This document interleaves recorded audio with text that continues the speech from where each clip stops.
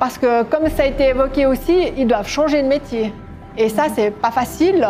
Et il faut aussi accompagner la nouvelle génération. On a de la chance d'avoir des jeunes hommes et des jeunes femmes qui vont reprendre ces exploitations. C'est donc aussi d'aller avec des soutiens qui ne sont pas uniquement des soutiens financiers, mais qui sont aussi du conseil, et puis euh, de, créer et de continuer à, créer ce lien de confiance. C'est aussi vraiment important d'aller sur, euh, sur cette voie-là. Moi, je plaide vraiment à ce qu'il y ait ce nouveau pacte qu'on appelle ce pacte de solidarité entre la ville et la campagne,